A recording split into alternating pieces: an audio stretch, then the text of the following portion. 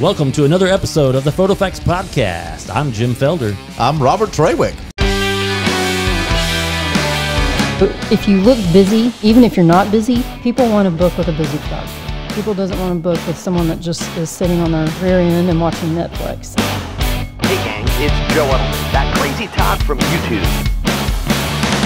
Okay, so mine, let me tell you what mine says. Okay. Why don't you step outside and let the cold punch you in the rumple foreskin? rumple foreskin?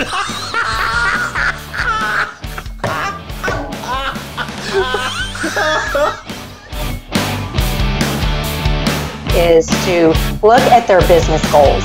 You know, write down your top three business goals. In a world where everyone has a camera, there's only one place they should be. FotoFactsPodcast.com.